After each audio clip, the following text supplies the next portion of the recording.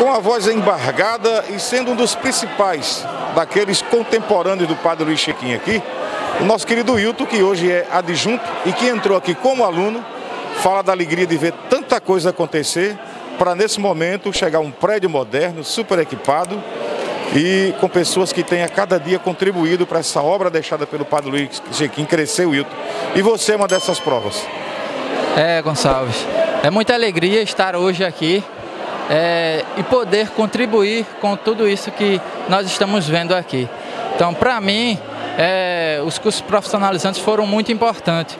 Comecei aqui como aluno, fui chamado por Padre Luiz a trabalhar, fazer parte da equipe de colaboradores e fui sempre ampliando o meu conhecimento. Você vive o Instituto na sua vida 24 horas por dia? Há 24 anos que eu estou aqui nesta casa. Tenho muito orgulho de fazer parte dessa família do Instituto.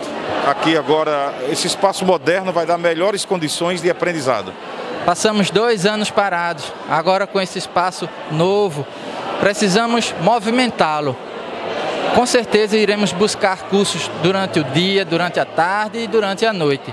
Estamos à procura de parcerias, estamos em busca de parcerias para é, diversificar também as, os nossos cursos para os jovens aqui da cidade de Limoeiro. Ok.